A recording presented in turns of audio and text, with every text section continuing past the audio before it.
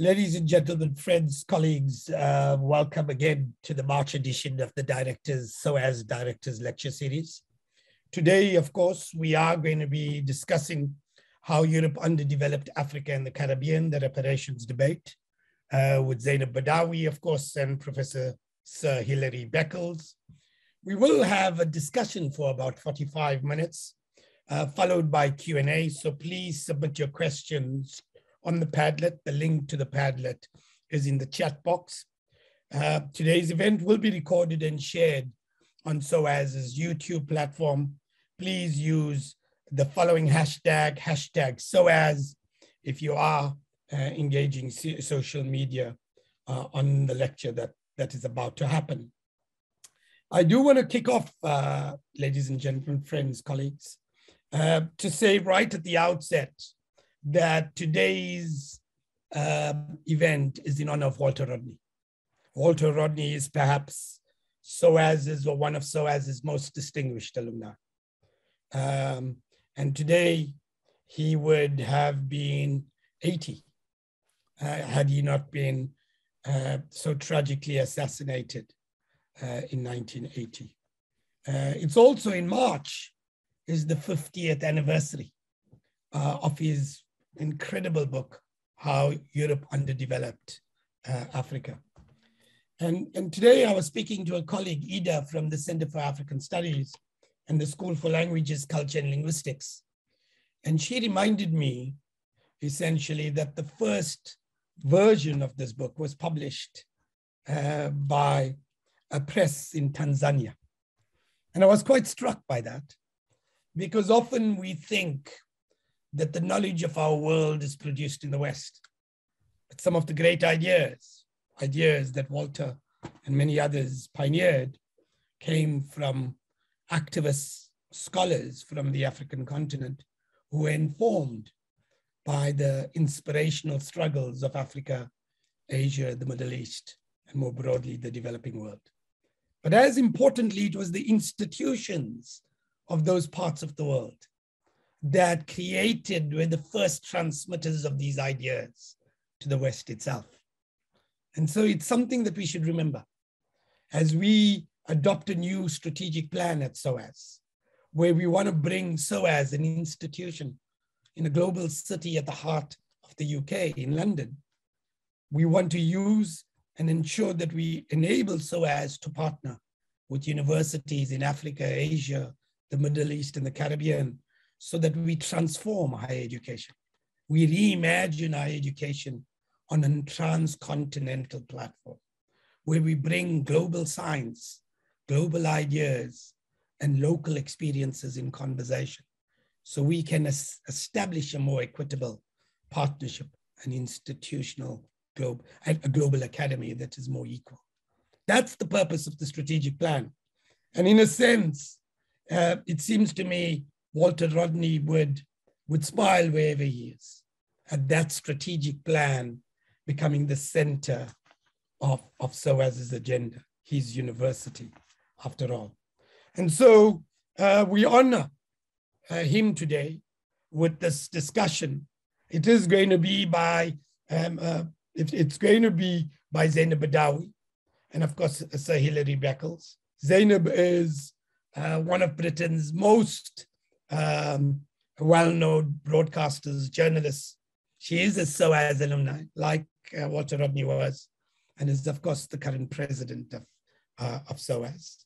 Um, Professor Sir Hilary Beckles is Vice Chancellor of the University of the West Indies. He's a distinguished university administrator, economic historian, specialist in higher education and, and development thinking and practice. And he's an internationally reputed historian.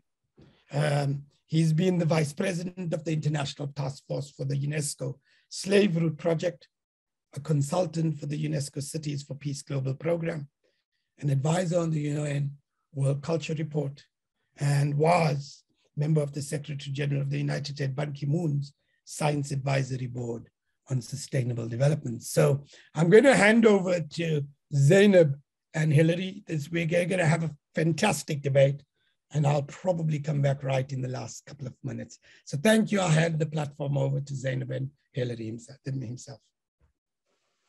Thank you so much indeed, um, Adam, for that introduction. Hilary, hello. It's lovely to see you. Um, I saw Hilary not that long ago in his uh, native Barbados, and um, I think that Hilary, I must have had some of the most stimulating conversations with you that I've ever had um, in my life. Such a, a, brilliant mind, and I'm so so glad to be um, sharing this discussion with you about um, your new book, How Britain Underdeveloped the Caribbean, a reparation response to Europe's legacy of plunder and poverty. You're telling it as it is. You're not holding back, are you, Hilary? Anyway, Hilary, um, I know you wear many hats, but in particular, what's relevant for our conversation today is that you are chair of a CARICOM commission, and CARICOM, of course, is the Community of Caribbean Nations, a CARICOM commission seeking justice and reparations for people of African descent. So, before we start talking about your book and the arguments for reparations, let's just have uh, some comments from you about Walter Rodney's groundbreaking, prescient, prophetic, um, you know, uh, book, um, How Europe Underdeveloped Africa. You say that it has since served as a manifesto for a clarion call to Africans to reject the neo-colonial narrative of self-doubt. So just expand on that a little bit for us. Uh, thank you so very much, uh, Zeinab. Uh, what a tremendous honor and, and joy it is to be uh, in your company once again and, and to thank Adam, of course, for hosting me within the within the so the SOAS family, which I'm very proud of long legacy. And uh, this transcontinental conversation um, based in Jamaica at the moment, uh, uh, reaching across the Atlantic to discuss with you issues about the global South and the, and the world as we have it. And, and to reflect on the legacy and the journey of, of, of Walter Rodney. Um, he was first class honors student in history here, here at the Mona campus of the university in Jamaica before he took a scholarship to, to go across the Atlantic to SOAS, where, where he enjoyed uh, his research tremendously. And then, of course, he was denied uh, admission uh, back into Jamaica in 68 because he, he had started a process of teaching African history to the, to the neighborhood. to going going beyond the perimeter of the campus into the communities and having these these nightly lectures on African history. And he was declared to be a security risk and therefore was uh, denied admission to Jamaica and uh, he went on to Tanzania, where uh, Adam indicated quite correctly that he entered a period of tremendous intellectual fertility and he wrote a great deal. And while in Tanzania, there he really emerged as a brilliant uh, uh, historian. So this this moment of reflection is is priceless, certainly for me, and I'm sure for you also. So, just um, uh, picking up the point I made to you, what do you mean by his book served as a clarion call uh, to Africans to reject the neo-colonial narrative of self-doubt? What made you say that? Well, this, this is precisely this is precisely the, the critical moment.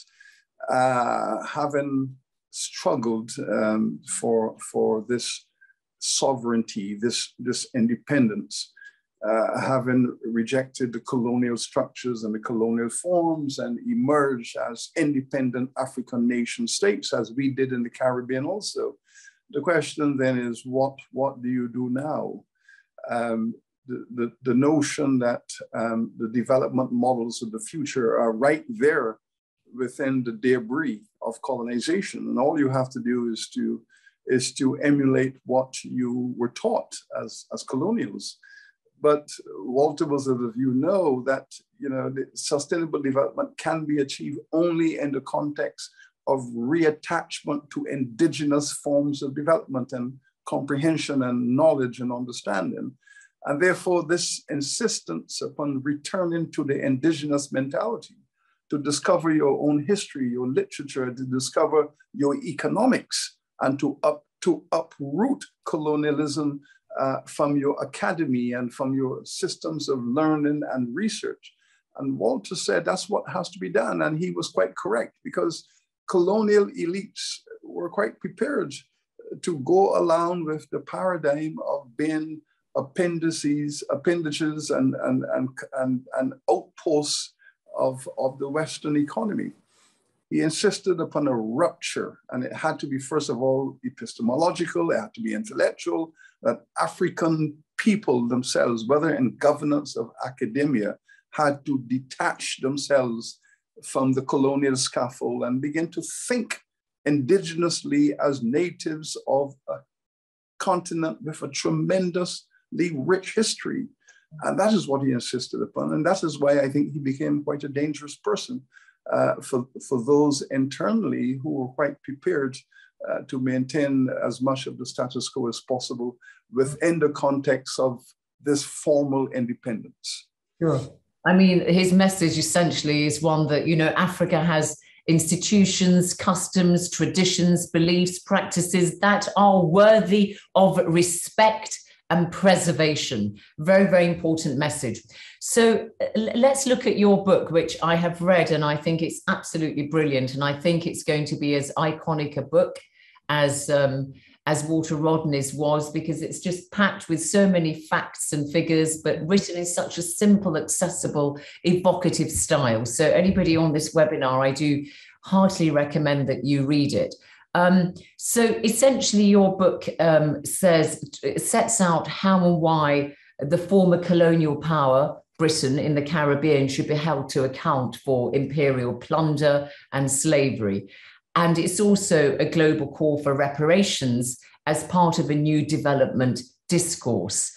But do the two necessarily go hand in hand? Would it not be sufficient for us to just have recognition of the first? Does it have to be sanctioned with the with the reparations? Can you not just get the the the understanding, the apology, the regret?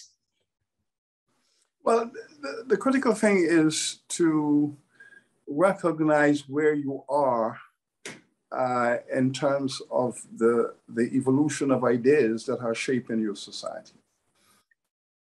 Britain implemented um, uh, an emancipation model that laid the foundation for the underdevelopment, the, the, the, the, institutional underdevelopment of the Caribbean. And we have to address why it is that Britain did what it did.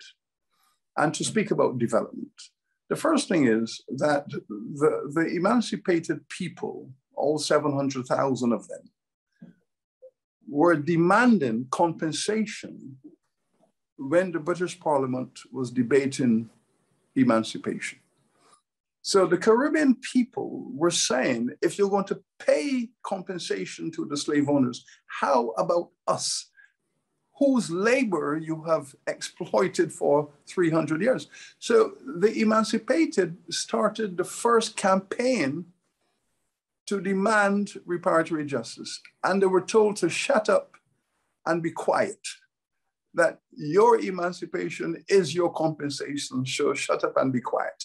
But the voice of these emancipated people resonated through the Caribbean and through the British Parliament and found traction in the British Parliament. I mean, people like, like Thomas Buxton uh, gave eloquent speeches uh, in the British Parliament when he was saying, listen, we are paying compensation to the criminals who have committed crimes. I am standing with the Black people of the Caribbean who have a right to receive reparations, and I'm standing with them. They should be compensated. So there was a movement in the Parliament. But of course, when the votes came in, it was said, you know, the Black folks ought to be quiet and be still and we're going to give compensation to the enslavers. Now, fast forward 100 years. The people of the Caribbean have revolted against British colonialism. And every island of the Caribbean between 1934 and 1938, celebrating the centenary of emancipation, the Caribbean rose up in opposition to British colonialism from island to island. And of course, the British then had to use the army to crush this, this movement. And they crushed it very aggressively uh, from Belize through to Jamaica, Barbados, Trinidad, Antigua, the British Army went, went AWOL, um, just killing Black people. Now, at that moment, Sir Arthur Lewis, who had graduated out of London, returned to the Caribbean in 1939 and said, okay, the people are demanding the end of colonization and they are demanding development. And he wrote this magnificent little book and then said, okay, you, the Caribbean people, you want development. You want economic development, you want social justice, you want it, you want independence, you want an intercolonialism. Fine. I am with you. But how are you going to fund it? and they asked the question, how are we in the Caribbean going to fund development? He said, well, the first, the first point of call has to be the British government. Because the British government, he said, has had 200 years of free labor from 20 million people that funded British economic development. So the first thing you need to do is to call upon the British government to return a portion of that. And if the British government would return a portion of that, it could be used to fund, it could be used to fund development in the Caribbean. He said, but don't expect it. Don't expect it. Don't expect it because they're not going to be willing to admit to that responsibility. Then the conversation started. So we need a carpet. We need a huge carpet to brush all of this stuff under right. and then we can move on. But we have not been able to find a carpet big enough to brush this stuff under. It keeps bubbling up that we need development and there's a British debt and Britain needs to acknowledge that debt and participate in the development model to finance that debt. So it's an outstanding debt in the name of those 700,000 emancipated slaves in 1834 that the 16 million people in, living in the Caribbean today, or people of Caribbean uh, nationality, they, these 16 million should get some development aid because of the 700,000 enslaved ancestors who were emancipated. It's that debt from 1834 that you're calling for. And it's not just that, uh, Zeinab. That's part one of it. For a hundred years after emancipation, right into the 1930s, we've had a Caribbean community that has been calling for democracy, that have been calling for economic development. And the British response a hundred years after, right into my own lifetime, was always to respond either with aggressive militarism to shut down protest movements by force of arms, and then to offer aid in contrast to development funding. So we speak of the 19th century Caribbean right into the middle of the 20th century as the Caribbean people dying for democracy. Now, when we say dying for democracy, we make that literally. More people in the Caribbean were massacred by the British Army and the British colonial government in the hundred years after emancipation than in the hundred years before emancipation. So the emancipation century was a bloodbath. A few days ago, we were uh, having a seminar here uh, on the campus about the many bloodbaths. St. Vincent, you know, 1856, uh, Jamaica, 1865, Barbados, you know, uh, 18, 1887, and you can continue all the way through. Each time an island said, we want land reform, we want economic development. We want schools. We want hospitals. Each time the people rose up for basic development infrastructure, the British government sent in the army. So development discourse is deeply rooted in what happened at emancipation and into the present time. So it's all connected. It's not just the so-called remoteness of slavery. It's what happened after into my own lifetime in the Caribbean, where we have islands where two to 3% of the white population owned 90% of the wealth. And that was a model that the British Army enforced upon the Caribbean, despite indigenous efforts to promote development through reform, land reform, social infrastructure, economic diversification, access to education, all of these development infrastructures that Caribbean people call upon the British government, they were all based upon the notion of this ongoing debt. You owe a debt. So that when, when the independence generation came, and by the 1960s, it was clear that Britain could not hold on to Caribbean colonialism. The leaders came to Britain in the 1960s, one after the other, and all of those conversations for development were speaking about the debt that is owed. How are we going to fund independence?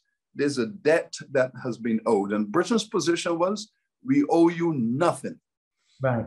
We, we are going to we're going to exit colonialism on the cheap. We owe you nothing. You are on your own. So you you are, as I said, as chair of the Commission for Reparations, CARICOM, you've got a set of steps that you want, including these requests, demands for uh, the debt, as you put it, to be repaid. But the first step you want is a full formal apology from uh, the British colonial and the other colonial authorities in the Caribbean, the French, for instance. But you know you're not going to get that, are you? Because that would trigger um, litigation. It would trigger steps. So uh, that's why I go back to my original question, which is, isn't it better in a sense to just get expressions of regret, first of all, to acknowledge that these crimes against humanity were actually committed. I mean, David Cameron, when he went and visited Jamaica in 2015, he said, I do hope that as friends, we have gone through so much together since those darkest times and that we can move on from this painful legacy. So there is an acknowledgement, isn't there, amongst British political establishment? Painful legacy. That? well, no. No, uh, we, we all want to move on, but you have to move on with accountability, responsibility, and justice. We all want to move on. But first of all, you must acknowledge the notion of a statement of regret is something, regretfully, that I will never be a part of. And I think anyone who understands who understands the search for accountability would reject that. Um, let me give you the distinction, and I will frame it to you uh, metaphorically. Imagine you are sitting on uh, the platform uh, about to board your subway to go to work, and and a huge man, uh, you know, 300 pounds steps on your foot, and uh, you are diabetic, and your foot is um, damaged, and it doesn't heal, and you find yourself in a hospital, and uh, and you you you you've lost your foot; it's been amputated. Now the gentleman comes to you and he says, "Listen." There are two choices. I can say to you, I regret that I've stepped on your foot. Here's a hundred pounds as an expression of my regret. Now, and goodbye. and goodbye. You're on your own. Goodbye. He could also say, listen, I've stepped on your foot. You've lost the use of that, of that limb. I am very concerned about your future.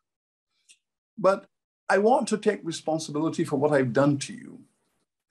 And not only will I visit you in the hospital, but I, I would want to find a way to help you with your rehabilitation.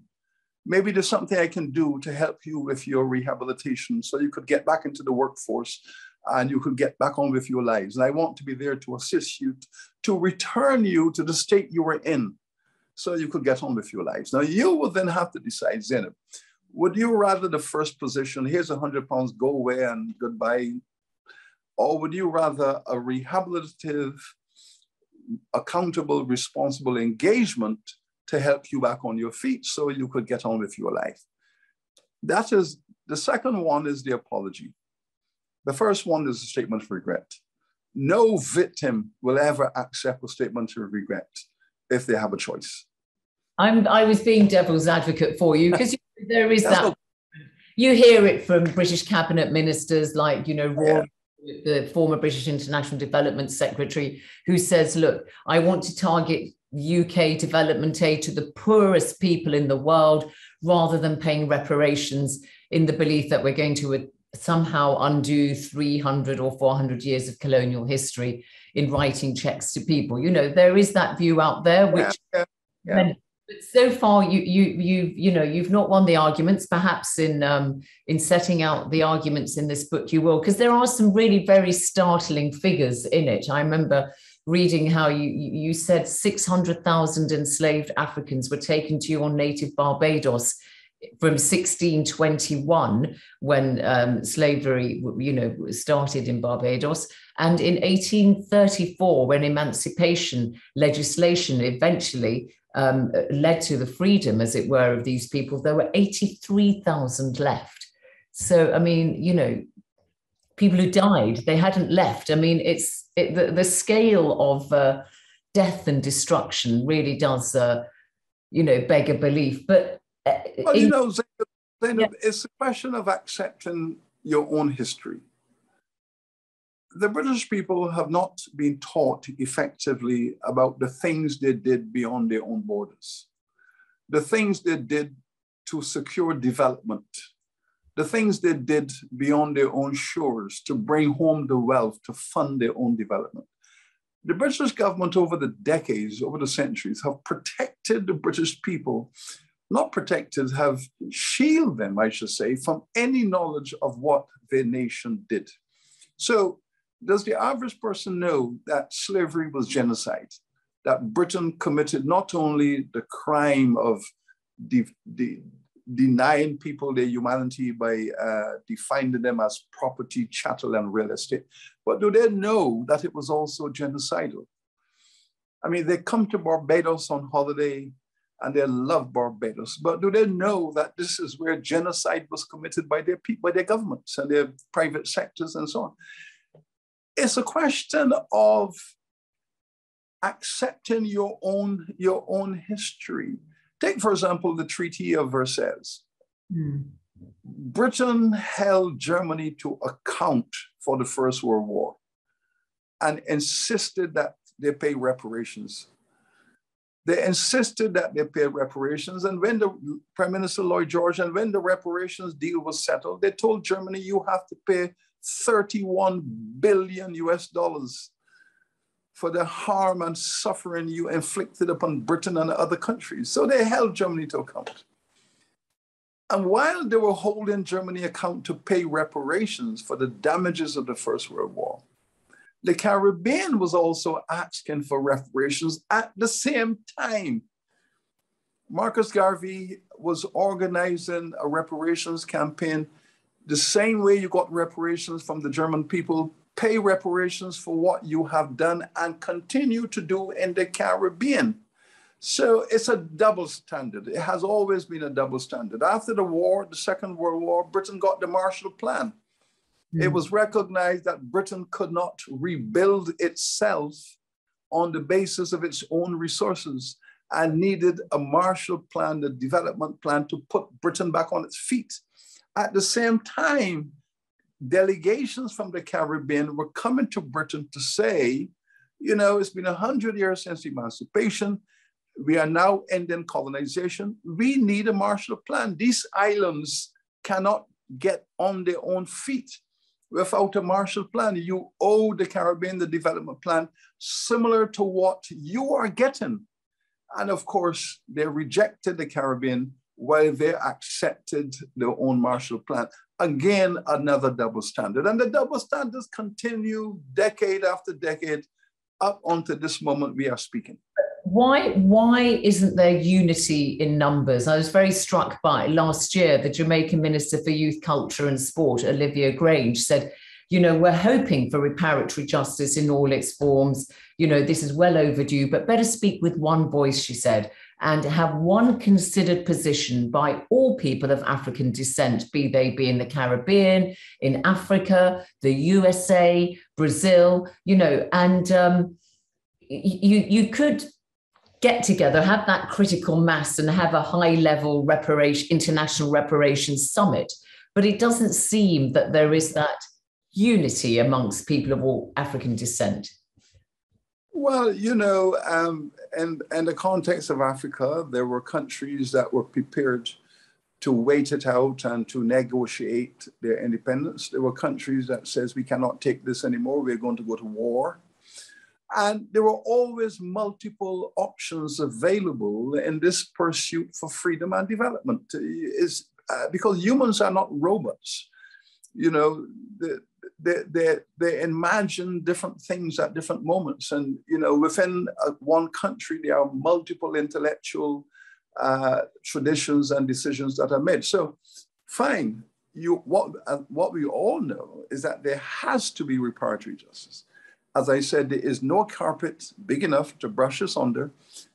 It has to be addressed, but the road to that moment uh, will illustrate multiple, multiple terrains.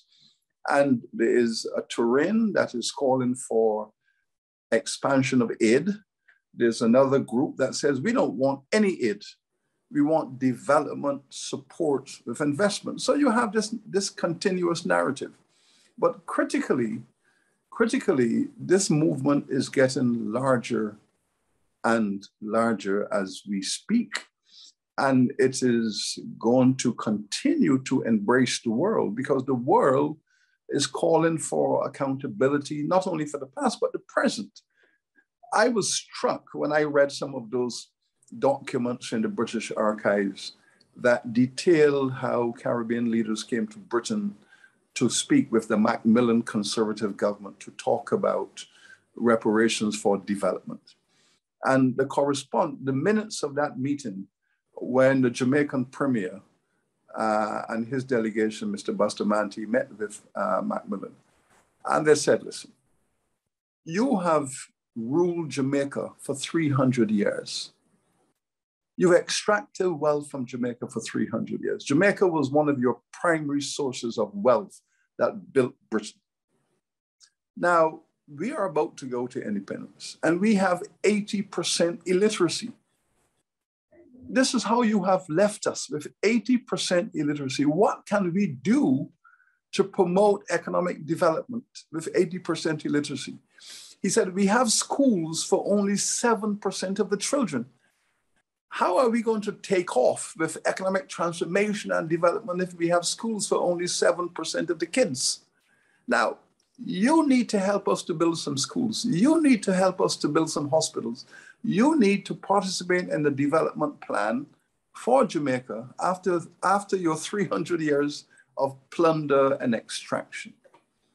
If you read the correspondence between the various parts of the British government preparing for that meeting, you had cabinet secretaries and permanent secretaries advising the government, now listen, we have to get out of this on the cheap. We have to give them as little as possible. And this is their language. We yeah. must let them we must let them know that we owe them nothing. And we're prepared to give them aid, but we're not prepared to give them development funding. So you know, it's all there.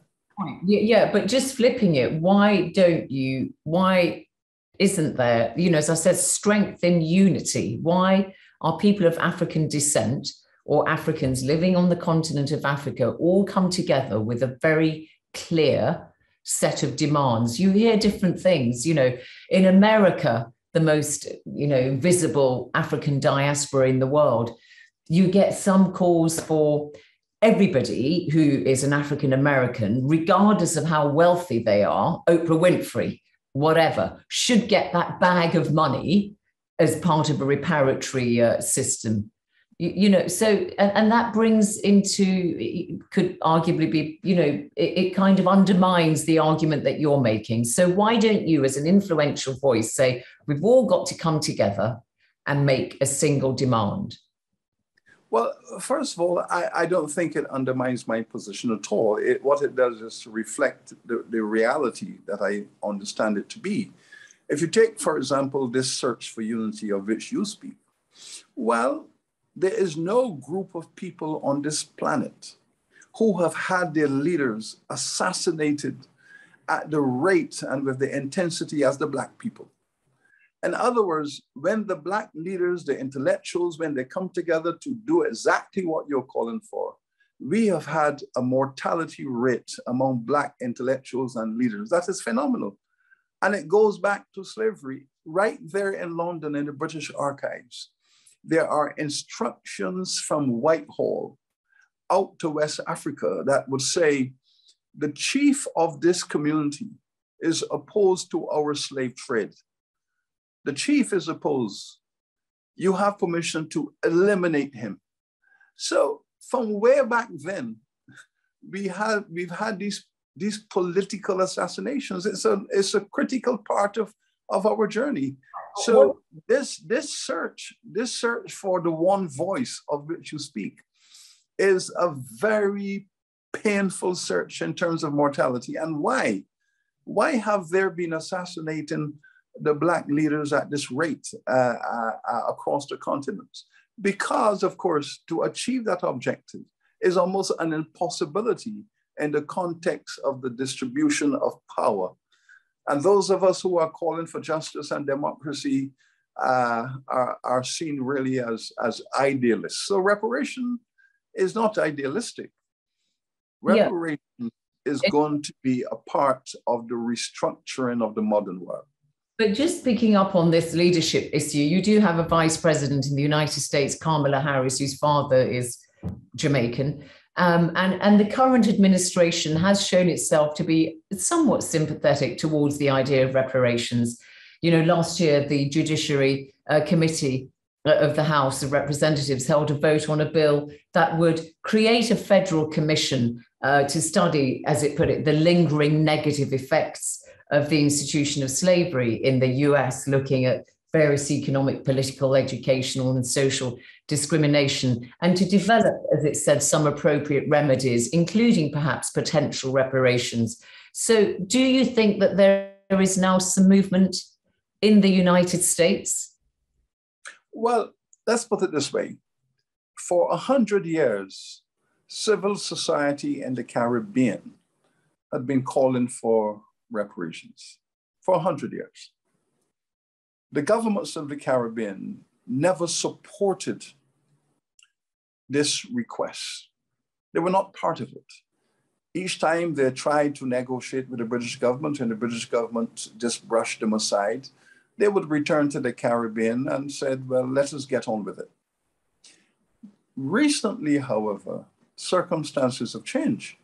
And for the first time, 2013, the Caribbean governments all came together and said, let us speak with one voice. And this is what they did. They said, let us speak with one voice on this matter because we have been forced to divide and rule for 100 years. So now let us transcend divide and rule and speak with one voice. This is when they established the CARICOM Reparations Commission, and I've been asked to be the chair of that. We moved from the Caribbean and went to North America and tried to revitalize the reparations movement there. They saw the CARICOM model as a, a, an opportunity to revitalize the American movement. And boy, was it revitalized on the basis of the Caribbean experience. And they said, if 18 or 20 Caribbean governments can do this, why can't we do this here? And the campaign started in the Democratic Party, in the grassroots, organizations. And before you know it, it was in the Congress. Now, that's a tremendous development of unity between the Caribbean and North America. Now, last year, for the first time, the governments of Africa and the governments of the Caribbean met in a summit for the first time. And this was a tremendous achievement to bring the African governments and the Caribbean governments into, into a summit and their resolve that this will be an annual summit from here on in because the search for that one voice between the Caribbean diaspora and Africa is precisely what this summit is going to achieve.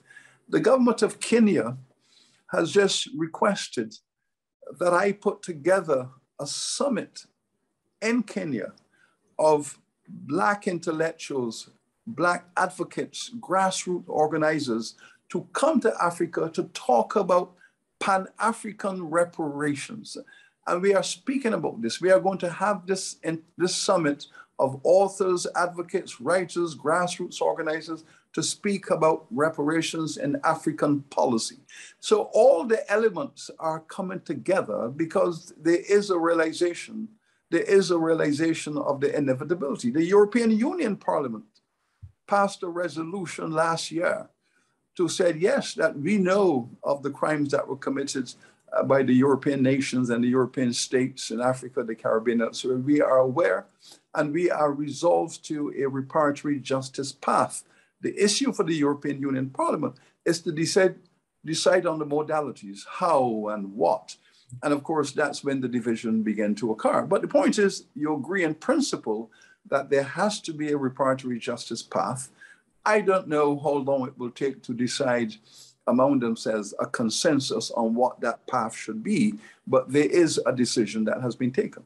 Right, interesting. So there's some momentum building up. So, and by the way, I will go to the questions on the Padlet shortly because we have we are getting a few. But if you've got any um, anybody on this webinar listening to this and some of the things that Hilary has raised, please do um, ask him to expand on them in the in the um, the question um, device. Uh, so you, you've set up very clearly in our conversation so far how and why former colonial powers such as Britain should be held to account for that imperial plunder and slavery and crimes against humanity. And, and set in, in context for us how global calls for reparations as part of a kind of new development discourse are gaining momentum. But I wonder if you could just explain to us how this is all relevant to the current conversations that we're all having, um, trying to imagine a new global economic order. Um, you know, how does it all, all, all fit in? Because um, you say quite clearly that the plight, economic plight of the Caribbean and Africa is still continuing. So, explain to us why that is and how the thesis of your book can be made relevant to current conversations about reimagining the global economic order? Well, if we if we return to, to Walter's Walter's paradigm, how Europe underdeveloped Africa and the the underdevelopment uh, theory uh, that was very prominent in the, in the, in the 70s and, and, and 80s to ex, explain the failure of Africa to rebound and the generation after, after independence. And the underdevelopment theory, international trade, continuing domination of resource ownership and management, inadequate infrastructures, and all of that. I mean, the conversation of Walter 50 years ago was very infrastructural. But the development discourse have shifted once again. And at the moment, the poverty of Africa and to some extent the Caribbean, the explanation has come now as a pushback. And here's the pushback you are poor and underdeveloped, largely because you're Black, largely because you have no culture of economic management and skill and skill development. You are poor and undeveloped largely because of your own ineptitude your inability to find within your culture the energy and capacity to transform your reality and to grow. So basically, dominant in the literature at the moment is the counter narrative that locates poverty in the developing world in terms of the culture of the indigenous people, those who were brought in uh, as well. So blame the victim. What the reparatory justice movement does is counter that counter narrative by saying, hold on a second. You cannot tell us about our culture, about our intellectual ineptitude. You cannot use those white supremacy racist arguments that Europe transcended the world because of its culture. You cannot, because we know what you did. We know the history of the plunder. So let us talk, let us talk logically about the issue of wealth extraction. Let us talk about political domination. Let us talk about economic ownership as the basis of the circumstances in which you have left the world. And so you use your Bretton Woods institutions, you use the IMF and the World Bank And we all know what the IMF and the World Bank did to developing countries. They actually helped to further ravish them and push them back further in the development trajectory. So these institutions that were meant to be a part of the Western world's continued accumulation were partners in the further impoverishment of developing countries. The legacy of the IMF in developing countries is horrific. The legacy of the World Bank economic prescriptions in the developing countries have been horrific. All of that has now been exploded by solid empirical research. So developing countries are saying now, we need a level playing field. To have a shot at democracy and development, we need a level playing field. We need participation and partnership. We do not need aid as a methodology. We need development, funding, and finance. The reparatory justice movement within that broader context is saying, and yes, yes, there is an unpaid debt that has to be a part of that negotiation. And it cannot be settled in the conversation about aid. It has to be settled in a conversation about responsibility, accountability, partnership, democracy building, and the ethics of future partnerships. So the, repar- the reparatory justice movement is a democracy movement. It's a, it's a social justice movement. It's, a, it's an equity movement. It's a movement that says, listen, as human beings, we can do better than this. We can do better than this. We can, we can move to a higher level of human interaction that makes this 21st century a much more peaceful place in which to dwell. That's lovely. Thank you, Hilary. So I've um, hogged you and monopolized you enough. Let's look at some of the questions that we're getting in. Let me give you this one. Why does the Reparations Committee not focus on a development bank? A development bank for small and medium sized businesses with a branch in every Caribbean island, financed from the old colonial powers that would be the best reparations imaginable. That's from Dr. Roger van Zwanenberg. Not everybody here has actually given their name, but that's one there. What do you think of that idea, a, a kind of reparations development bank?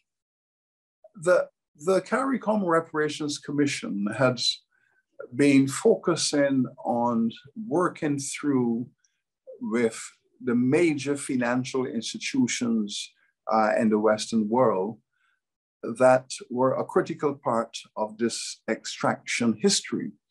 The City of London, for example, has accepted that their banks and their insurance companies were at the center of these crimes.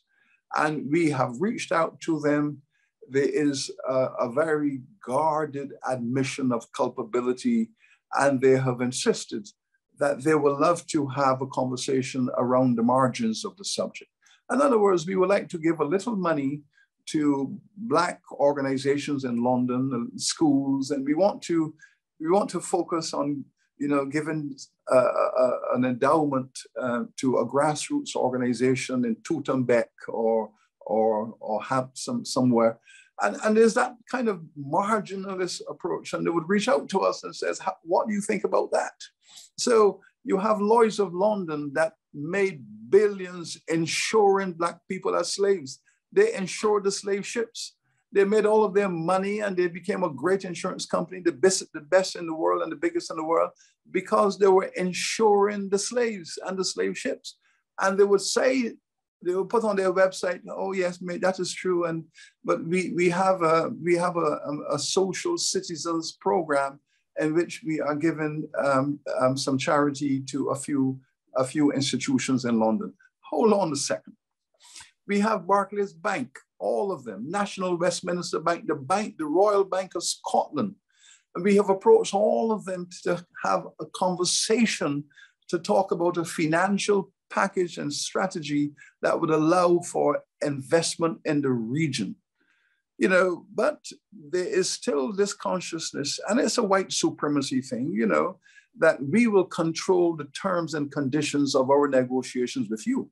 It is not a conversation. We will tell you, we will give you something on the side and you take it and go away because they, they're, they're, con- they're committed to this regret as opposed to reparations conversations. and that really is the problem. So you're referring to, I know in 2020, the insurance company Lloyd's, they um, apologized for their role in the transatlantic slave trade and offered donations, contributions to charities that promote diversity and inclusion. And that you're saying just is not really what you're about. We, we found that offensive because the, the, the Caribbean people are talking about investments in, in schools and colleges, uh, digital technology. They're talking about public health, you know, this legacy of, of hypertension and diabetes. The Black people in the Caribbean, uh, Zeinab, if you, if you use the marker of chronic diseases, uh, non-communicable chronic diseases, if you use that marker, the black people in the Caribbean are the sickest people in the world because we have the highest we have the highest ratios in our adult population of diabetes, hypertension. And why is that? Is it there's some kind of genetic flaw that black people in the Caribbean have? It has to do with slavery, sugar, salt, 400 years of consuming salt and sugar as meals every day, the psychological stress of colonization and racism and white supremacy. And this is what it's all about the intergenerational transmission of sickness and disease. Now, we would love to talk about research and we would like to talk about turning this around. Yes, we have, we have the science, we have the technology, but do we have the infrastructures to make a big impact upon rehabilitating the health of these people who are the descendants of enslaved people? We are speaking about partnership. We are speaking about collaborative interaction to move humanity forward. The white supremacy mentality in corporate Europe and corporate Britain is indeed the primary obstacle to these developments that we are asking for. Make that clear. Thank you. Another question here Is seeking reparations simply now a holy grail that keeps us from putting energy into commercial and economic endeavors that could produce far more than could ever be claimed in reparations? Yes, it is always it is always the response that says, listen, how do we how do we discredit reparations. You remember back in the 60s when Martin Luther King was talking about integration. And he was talking about the integration of the house and stock, the integration of schools, the integration of financial institutions, how to get Black people to be integrated into the economic systems. Well, the white supremacy group says, okay, we know what he means by reparation, by, by integration. What he really means is that black men want to marry white women. and they counter define integration as sexual integration and put Martin Luther King to in a circumstance where he had to say, no, we're not talking about that. We're talking about economic integration. Now, the white supremacy group has said, oh, reparations is about Black people standing around on street corners wanting handouts from white people and not wanting to take responsibility for themselves. That was how white supremacy defined reparations in an effort to discredit the value of it. We've had to say, hold on a second, that is your narrative. Reparations is about the partnership between two groups of people who have had an unequal and unequal extractive relationship, and there is a search for rebalancing. There's a research, there's a surge for justice. This is what this is all about. So, yes, the Caribbean, I should tell you, if you look at the mess that Britain left the Caribbean in in the 60s, and the 60s, the, the 1960s is when the independence movement started. The Caribbean people were told you are on your own, no development support, no development financing, get on with it. Caribbean people have been extremely responsible and taking care of themselves. The, the self-help, we have converted these colonies into viable democratic nations. Barbados is seen as one of the freest societies in the world because of a commitment to democracy. Jamaica is seen as a country that has converted a horrendous history into a viable nation state where people can live and where society can be respected. So the Caribbean people have done a great deal to achieve a modernity on the basis of scarce resources and to take responsibility for self-help.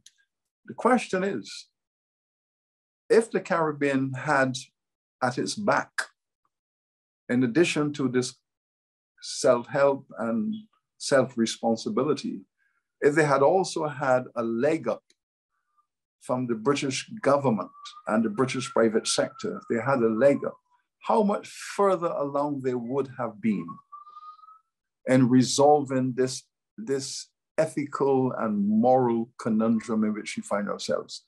And therein lies the problem. Right. Um, a question here. Um, it says, I'm one of the most passionate supporters of reparations, and at the risk of sounding combative, since CARICOM is now leading this charge, do you think it would strengthen the call if CARICOM started the process by carrying out reparatory justice within its own respective borders? Uh, the first order of business could be divesting the state of crown lands and introducing radical land reform distribution to the descendants of the former enslaved if land ownership is empowerment, then wouldn't that be beginning to help repair the damage of emancipation? Well, this is precisely what Caribbean independence and development has been about. Independence in the Caribbean has been a reparatory justice project. The development of the Caribbean, left alone and still being exploited, was a reparatory justice project. If you take Take my University of the West Indies, for example, I have the Pledge of Leiden. The British government planted a seed in the Caribbean, a university seed in 1948. The generation before, Lloyd George, as Prime Minister, had said that the Caribbean is the slum of the British Empire. He was speaking as Prime Minister and he's reflecting on the British Empire and described the Caribbean as the slum, the slum of the British Empire, because it was recognized that the public health of the people in the Caribbean was the worst in the British Empire. Now, as a response to the revolt of the Caribbean people, they said, let us build in the Caribbean a small medical school, and we will fund for them a small medical school that will begin to look at the diseases that are ravishing the public health in the region. That was 1948. Small grant, a few, a few dozen students. The college was placed under the tutelage of London University. So we were a college of the University of London, small tutelage. Next year, this university is celebrating 75 years of service.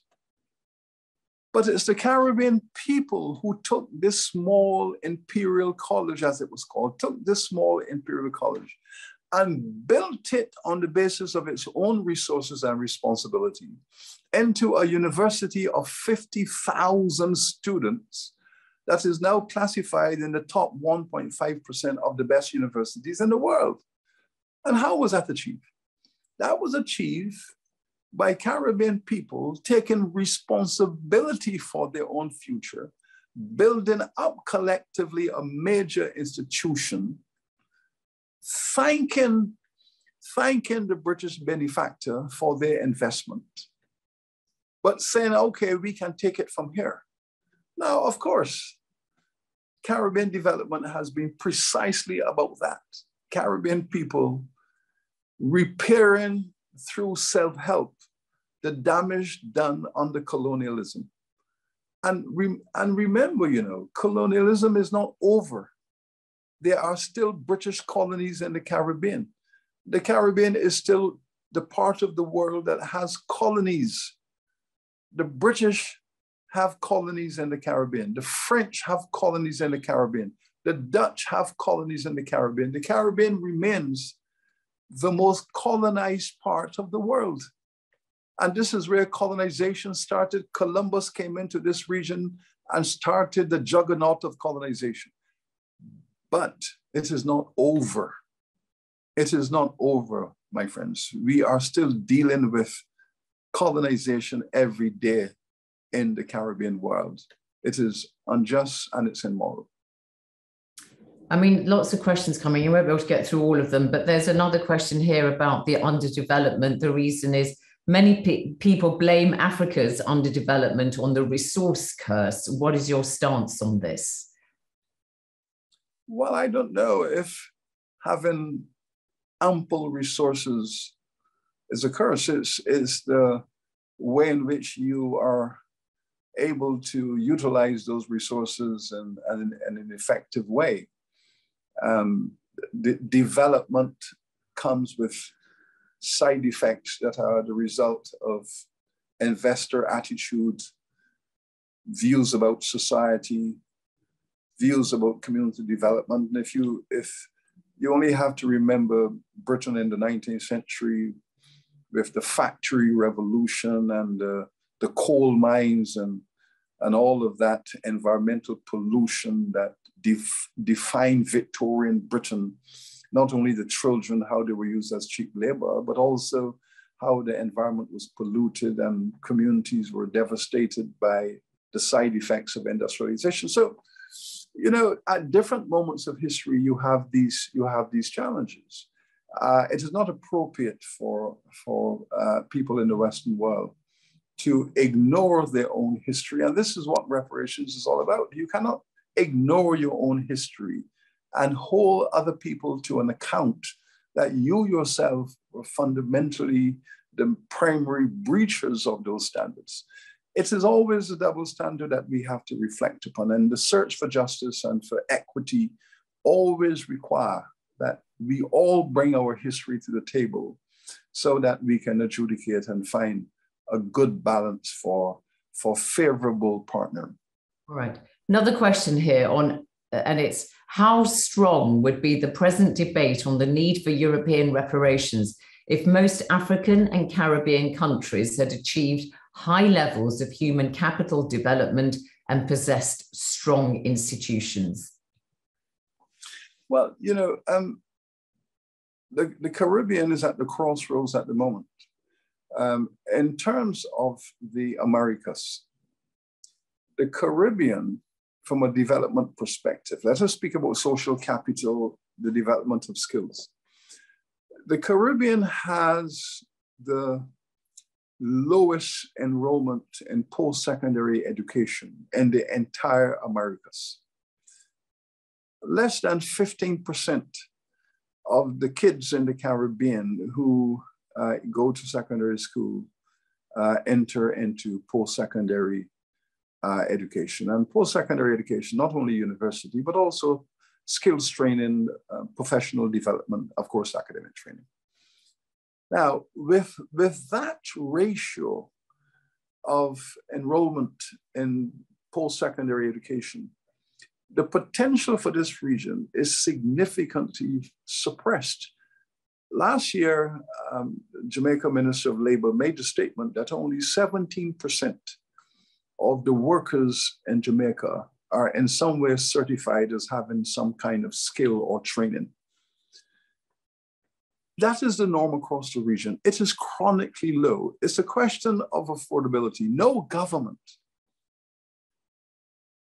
that had access to resources would want to maintain such a labor force those of us in higher education have done all we can to promote access to higher education in order to promote economic development, social justice, and social civility. But the plumbing is broken in the basement. If the circumstances around primary education are so awful, and that filters up to a catastrophe at the secondary level. Then, of course, at the tertiary level, you're going to have fundamental problems. You're not going to have the pipeline access. And we know that given all the models of economic development that we have available to us, a country's potential for economic transformation and development is an expression of the, of the number of its citizens who've had skills training, professional development, and academic training. And from the point of view of the Caribbean, at the lowest points of the Americas, that should tell you what we can reasonably expect to find in the next 10 to 15, 20 years in terms of economic development.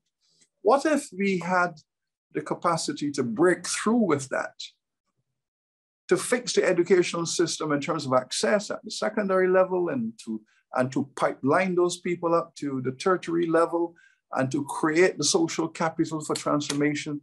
What if we had the resources to do that? Mm-hmm. Reparatory justice conversations, the same to Britain. This is a strategy that can be used, can be discussed, whereby you can return a portion of that wealth that you have taken from the Caribbean people and reinvest it in the people who are the descendants of the enslaved and the indentured. This is the conversation that we are having right now. This answers a question partly, but it might want just to expand on it on the mechanism. What is your proposed mode of payment with respect to reparations, since many claim that the payment to the descendants of those who were enslaved would be far too complex. The Caribbean methodology is not about individualized approaches to reparatory justice, it's, it's an institutionalized approach. We're talking about investment partnering. We're not speaking about individual accessing uh, extractions through personal narratives. We are speaking about economic investment in partnering. We are speaking about investment in public health, investments in educational infrastructure, investment in agricultural reform to allow those rural communities to be able to develop entrepreneurial options around agriculture. We are speaking about improving the digital infrastructure in the region. Right now, we have a terrible circumstance where the vast majority of the children in the Caribbean region do not have access in their households to, to internet to allow them to participate in education. And during the COVID, we saw the consequences of that. Thousands and thousands of children locked out of education because they do not have internet infrastructures, because the investment in putting the infrastructure in place by the private companies uh, is considered to be uneconomical. So we, these are challenges that are real, that are the legacies of colonization. These are the legacies that we are speaking about, the, the, the, the fundamental inequalities, the uh, environments that are not suited for economic transformation, and so on. We have a circumstance where at least half of the population is considered to be living in ghettos. But this is how they were forced to live under colonization. They were just strung out across these ghettos and when COVID came, and the governments were saying to people, well, listen, listen, you know, you have to stay, you have to stay in your home.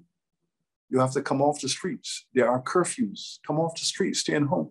But the households for half of these people are congested households in the ghettos. And the household is the place where you were catching the COVID. And your chance of escaping COVID was to leave your house and come out of the house, go on the street. You were safer on the streets than in your congested houses. So we had these contradictions with respect to public policy and science. So eventually people began to take the law into their own hands by coming out of their homes and going on the street because the reality is that the home was where the COVID was concentrated.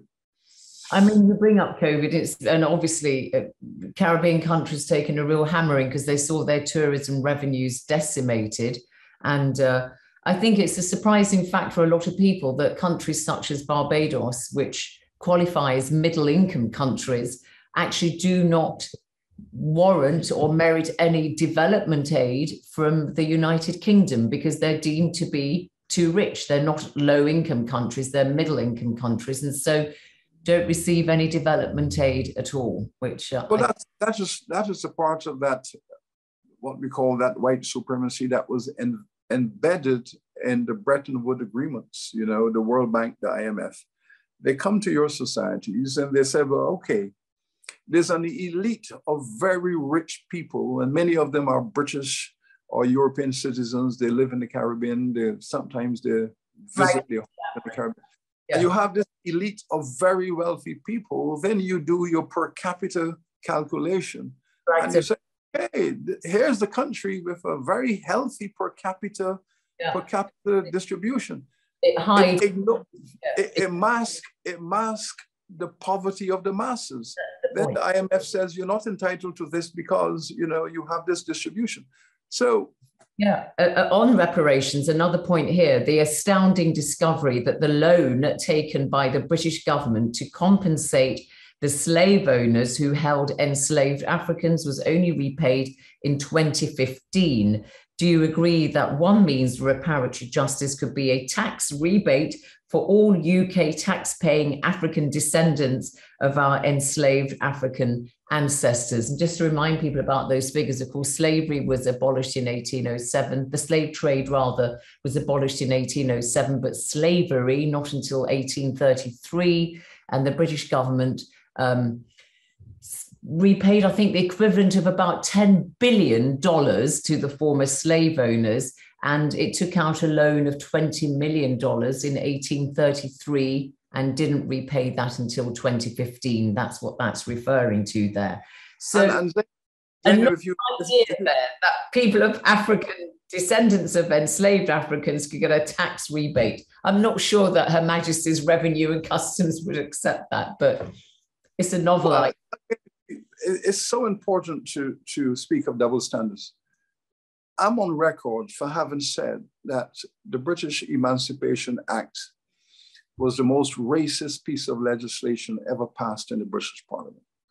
And this is against the background of a belief that it was the most humanitarian piece of legislation ever passed. But what actually happened with that act?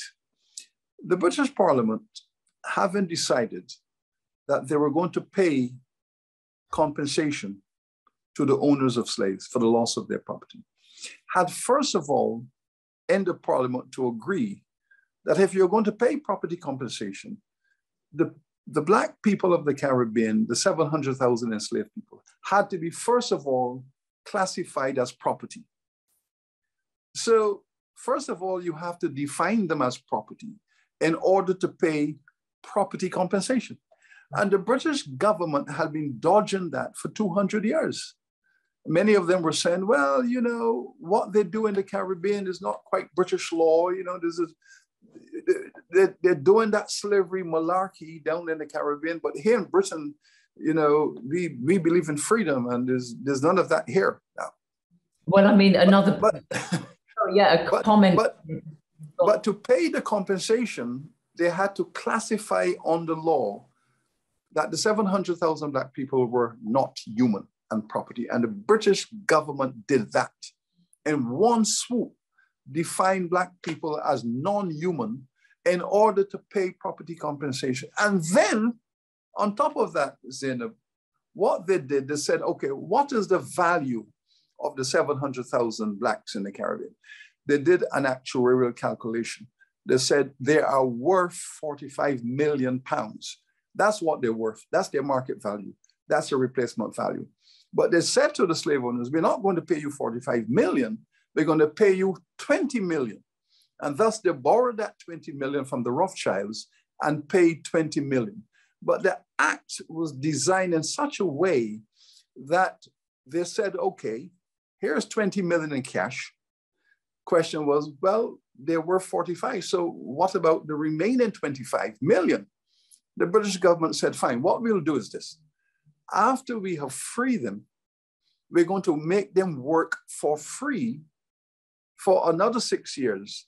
So they will, they will contribute that 25 million in free labor after they have been freed. And that is what the British Act did. So the black, people, the black people ended up paying 48%. Well, there's a comment of the cost of their freedom. Yeah, there's a comment here about the Haitians are poor today because they had to pay reparations to their former French enslavers.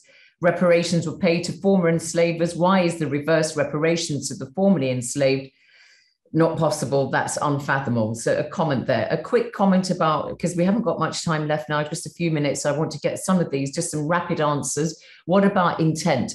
Somebody said that the analogy you gave about the stepping on someone's foot causing the loss of that foot is an analogy that totally ignores the matter of intent. And there was intent in the whole slavery thing. Fair point? Yeah. Um, well, intent is not to be discussed.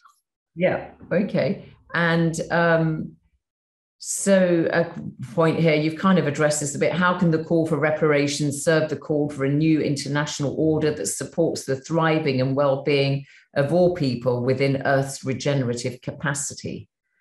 Um, so that's that there. Um, there's a, a, point here which is um, my question Taiwan, Singapore, and South Korea have respectively made phenomenal strides beyond colonial recognition without recourse to colonial era reparations.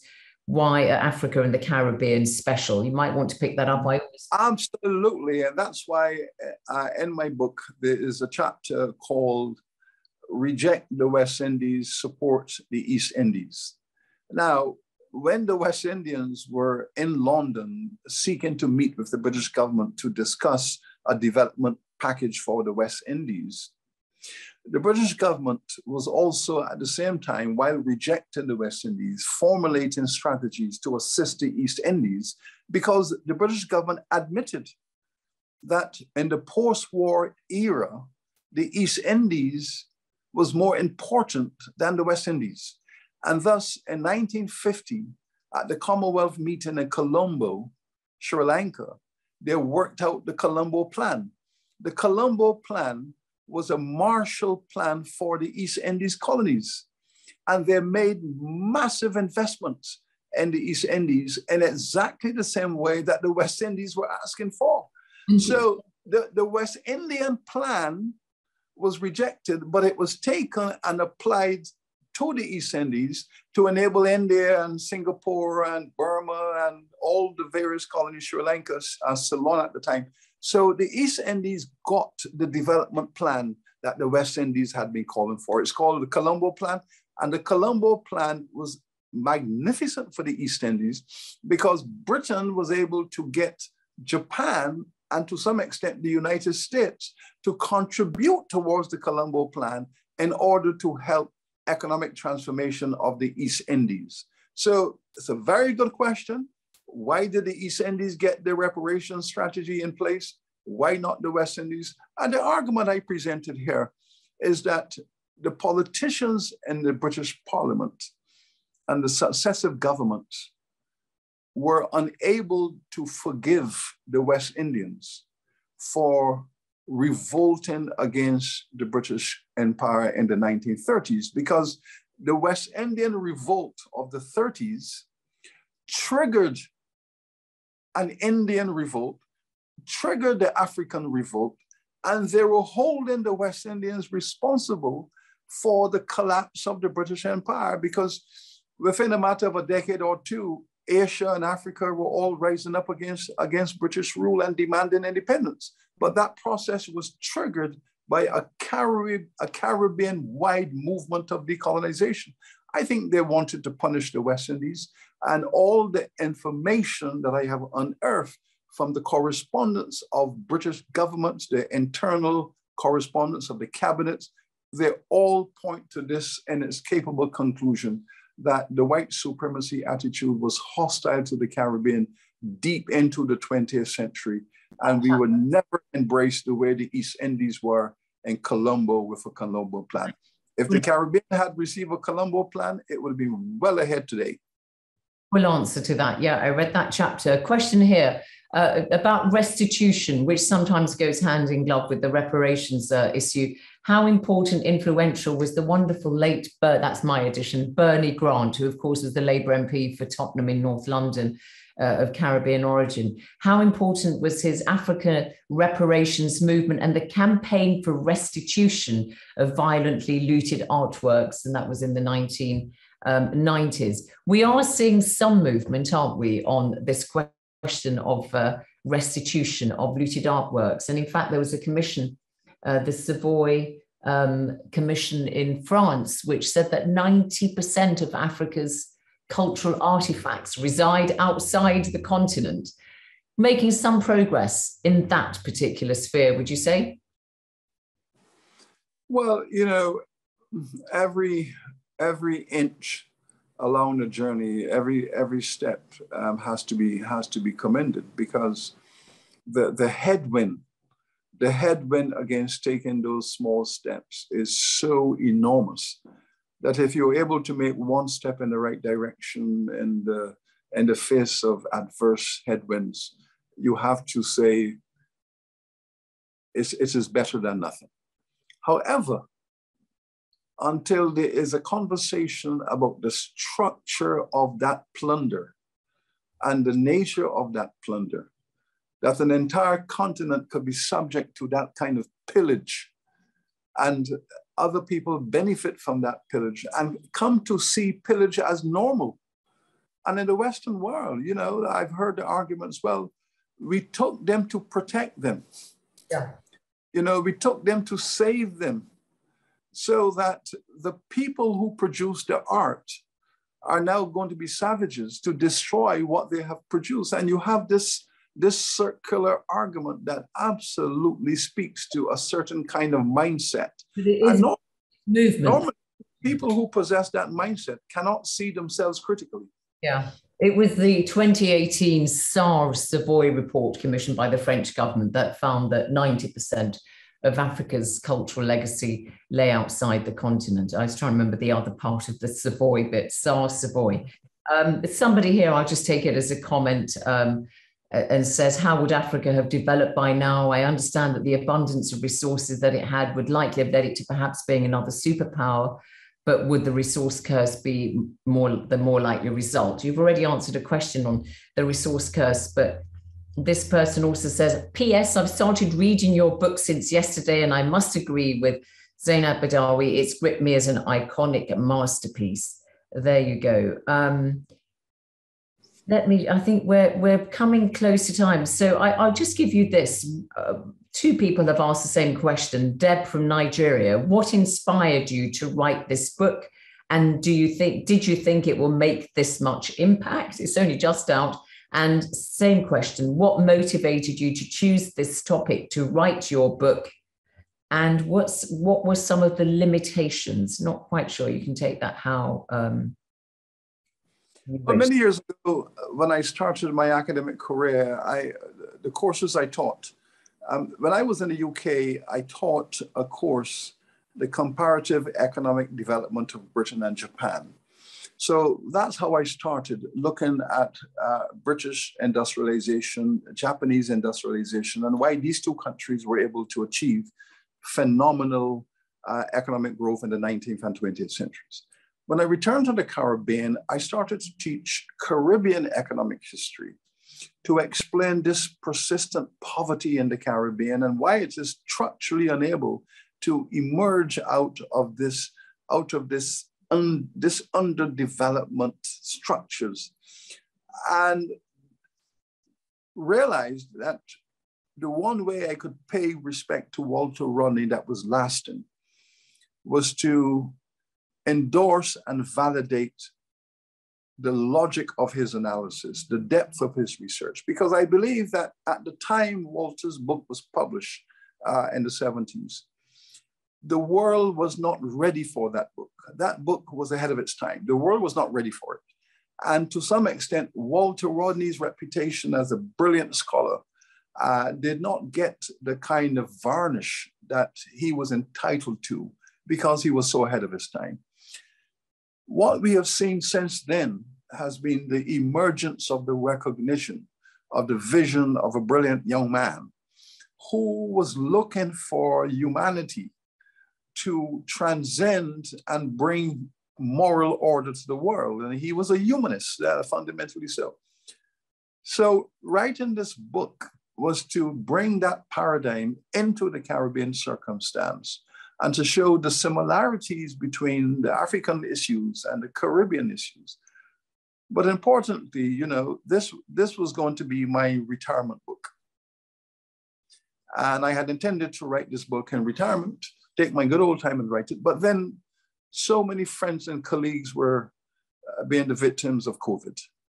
Uh, in my university, friends in other universities, people who I admired and respected, the COVID mortality was devastating so many people around me. And, and you know, good health seemed so, el- so elusive uh, into the future. So I decided, you know, while I am above ground and I'm in relatively good health, I better get on with it and uh, use the opportunity of the lockdown uh, to stay in my house and uh, while running the university, writing this book. And so it was a COVID project. And at the same time, while it was meant to provide a certain kind of support for a certain kind of movement and narrative, at the same time, it was also therapy, you know, and we have to acknowledge that writers need therapy as well. So it was a kind of mental health um, strategy.